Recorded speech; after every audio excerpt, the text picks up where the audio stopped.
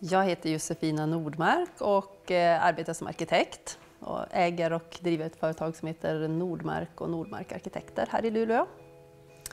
Jag kommer från eh, Kalix ursprungligen, där jag har växt upp och sen så flyttade jag söderut och studerade i Göteborg och eh, år 2001 så återvände jag till Norrbotten och då bosatte jag mig här i Luleå. Så här har jag bott sedan dess. Ja, jag saknade Eh, den närhet som finns här i Luleå och i Norrbotten. Den närhet som finns både, både fysiskt mellan eh, saker och ting, man är alltid nära till naturen och nära, ja, nära till allting, men också närheten mellan människorna.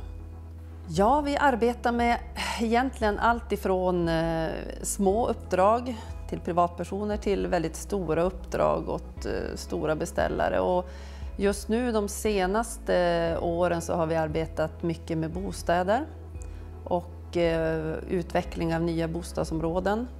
Eh, och det, det är någonting som som känns väldigt angeläget och väldigt eh, viktigt att, eh, att eh, jobba med också nu med tanke på att det behövs väldigt mycket mer bostäder och vi vill gärna vara med och bidra till en, en hållbar stad där, så det känns jättekul.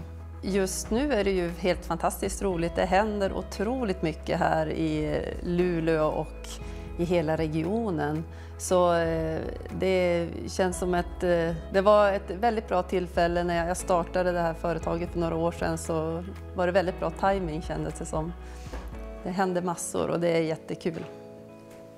Luleå har, eh, ja det finns precis det man behöver samtidigt som man har den här närheten mellan, till allting. Och, så det är väldigt lätt man får ett väldigt eh, enkelt eh, vardagsliv och kan kombinera det med ett eh, spännande jobb på samma gång.